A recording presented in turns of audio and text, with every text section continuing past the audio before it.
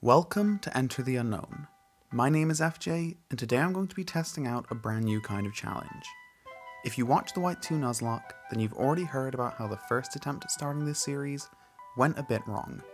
Basically, we're checking to see if the first six Pokemon seen in a random episode of the anime can take on the hardest battle in a given game. For this battle, we won't get any items, nothing to use or to hold, and the style will be on set rather than shift.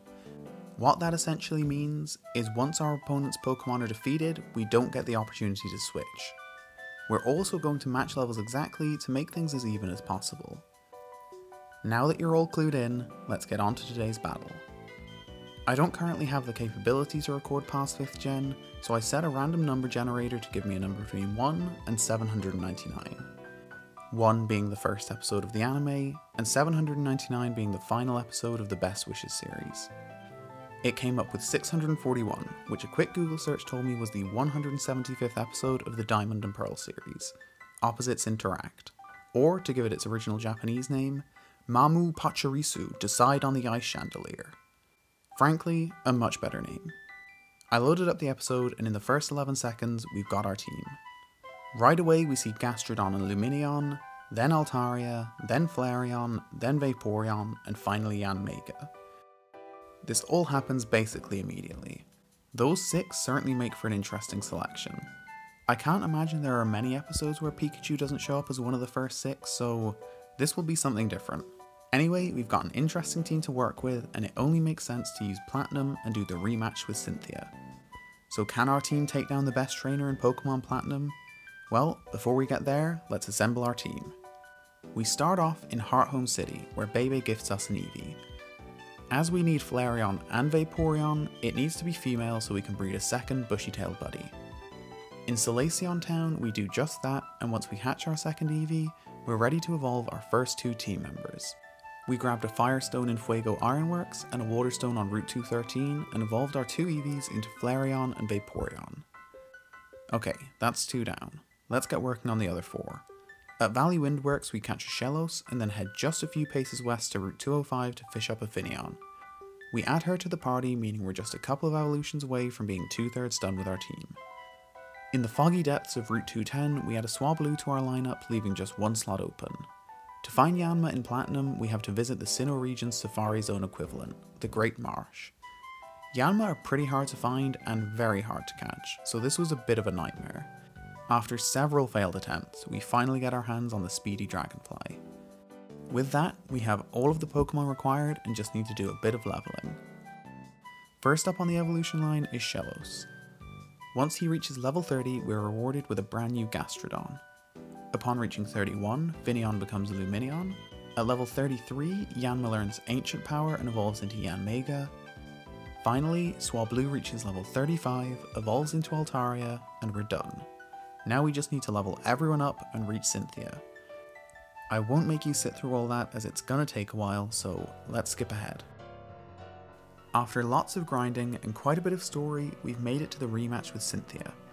For this battle, the Sinnoh champion has 3 level 74s, 2 level 76s, and a level 78, so we've matched that. Here's what our team is looking like. As I mentioned earlier, the battle style is on set, we've got no hold items and won't use any items in battle. I just want you to imagine a classic 6 on 6 Pokemon League battle. Just imagine I beat Ash in the semi final because he sent in Torterra against Yanmega, Infernape against Vaporeon, and Pikachu against Gastrodon. That seems like something he'd do. Okay, let's get this championship match underway. Cynthia leads off with her level 74 Spiritomb, and we start with Altaria. Spiritomb's moveset is made up of Dark Pulse, Psychic, Silver Wind, and Ominous Wind, and its ability is Pressure.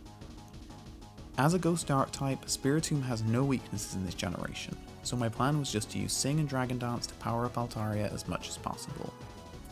Our first Sing connects, and we boost our attack and speed twice before Spiritomb wakes up and hits a Dark Pulse.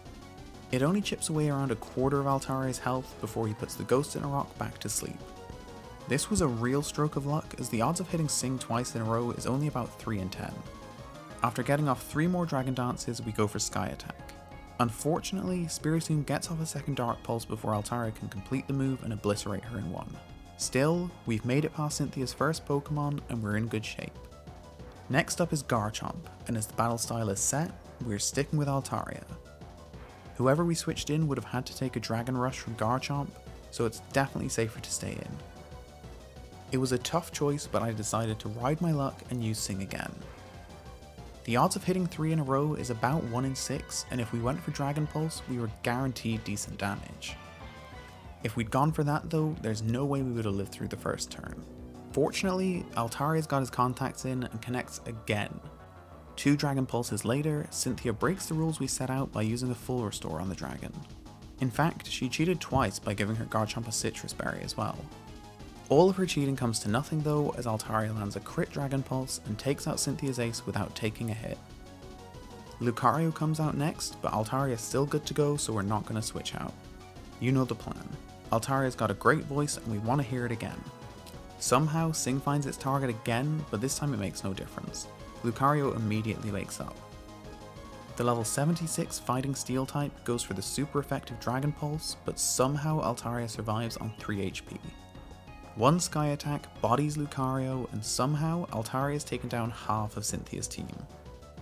Her level 74 Milotic is out 4th, and finally Sing misses its mark. One Surf takes out the last of Altaria's 3 hit points, and you're finally going to see another member of our team. Luckily for us, we have the perfect counter for Cynthia's Milotic, Vaporeon. This is going to take a long time, so I may as well explain. Milotic's 4 moves are Surf, Ice Beam, Mirror Coat, and Aqua Ring. Our Vaporeon has the ability Water Absorb, so Surf can't touch us. By only attacking with Bite, Milotic can't make use of Mirror Coat leaving it with just Ice Beam in the way of attacks. It barely does more damage than our Aqua Ring restores, so there's basically no way for Milotic to win. Unfortunately, Cynthia was determined to see this battle from every angle and used a full restore before Milotic went down. This took so long. Eventually though, Vaporeon triumphs at full health and takes the Sinnoh champion down to her final two Pokemon. Roserade is up first. Now it's time to take advantage of a switch in. With Vaporeon out front, it only makes sense for Roserade to use a grass type move. Yanmega is 4 times resistant to grass and easily soaks up the energy ball upon switching in. Yanmega's Psychic isn't quite enough to one-shot Roserade, so Sludge Bomb lands and poisons him. Air Slash finishes off Cynthia's penultimate Pokemon, but Yanmega falls to poison. Still, we're in great shape with just Togekiss remaining. I wanted to use all 6 Pokemon in this battle and I'm sticking to that, so let's start off with Lumineon. After taking an Air Slash, we land Toxic and then immediately switch to Flareon. She also takes an Air Slash, and predicting a Water Pulse next, we go right into Gastrodon. Our whole team has now made an appearance, so we go for Surf and Gastrodon ends the battle in style with a critical hit. Cynthia is defeated, the first six Pokemon from Mamu, Pachirisu, Decide on the Ice Chandelier are officially inducted into the Hall of Fame. And that does it for this episode. Is this something you'd like to see more of? I think we got a little lucky with the episode today, but it was still a tough battle. I'd like to test this out against different trainers and other games with a variety of teams, but that all comes down to you. If you're interested in seeing more, then just leave a like or a comment and tell me what you think. Thank you so much for watching, and I'll see you next time.